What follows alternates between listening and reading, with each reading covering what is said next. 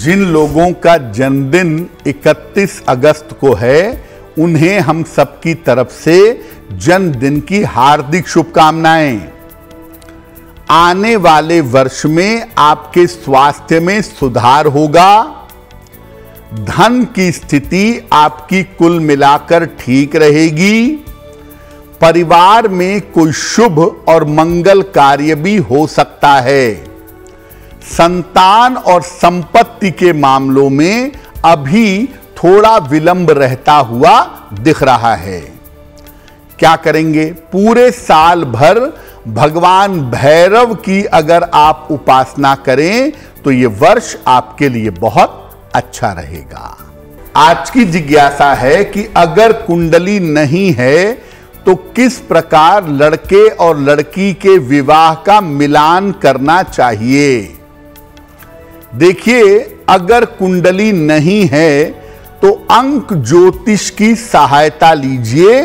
जन्म की तारीख से और भाग्यांक से कुंडली मिलाने का प्रयास करिए। अगर वो भी संभव ना हो तो हस्तरेखा देखिए और हाथ की रेखाओं को देख करके कुंडली मिलाइए। और आप जो केवल नाम से कुंडली मिलाते हैं कि लड़के का नाम फला है, लड़की का नाम फला है तो उससे शादी कर दो, क्योंकि नाम से मिल रही है। केवल नाम से विवाह मिलान करना बिल्कुल भी उचित नहीं होता। इसके परिणाम अक्सर गलत ही साबित होते हैं। अगर किसी टूटे रिश्ते को आप जोड़ना चाहते हैं, आपका बड़ा करीबी, बड़ा प्रिय रिश्ता था, टूट गया आप उसे जोड़कर बेहतर करना चाहते हैं तो क्या करेंगे?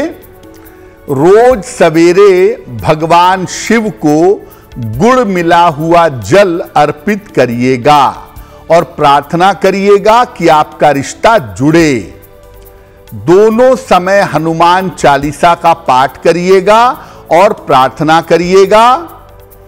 पूजा स्थान पर लाल कपड़े में बाँध करके एक या दो या तीन जितना भी संभव हो, तांबे का सिक्का रख दीजिएगा।